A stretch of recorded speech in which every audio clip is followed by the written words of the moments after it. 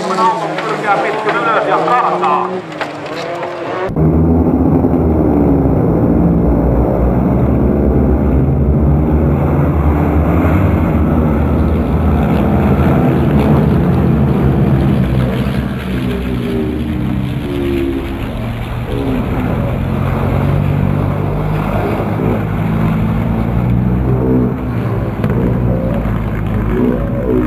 Thank you.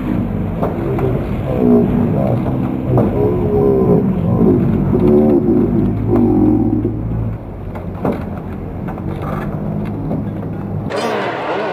sitten mennään pitkin torjun kärjestä kakkosena Herralan konehuolto.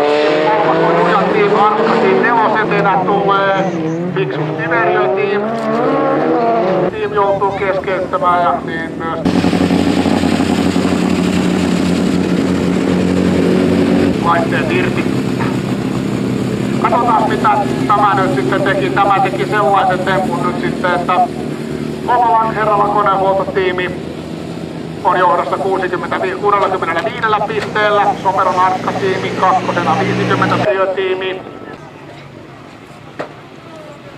Varikolle, huitokaa vähän, että ottaa sen ekan reijän siitä, ettei...